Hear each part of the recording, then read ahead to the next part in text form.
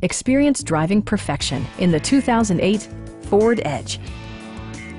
It features a front-wheel drive platform, an automatic transmission, and a 3.5-liter six-cylinder engine. Top features include power windows, front bucket seats, rear wipers, and much more.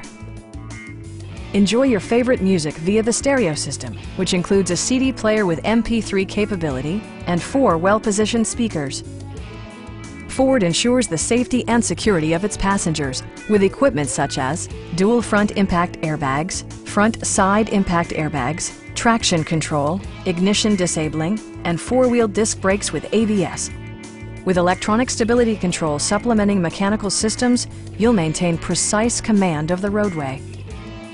Stop by our dealership or give us a call for more information.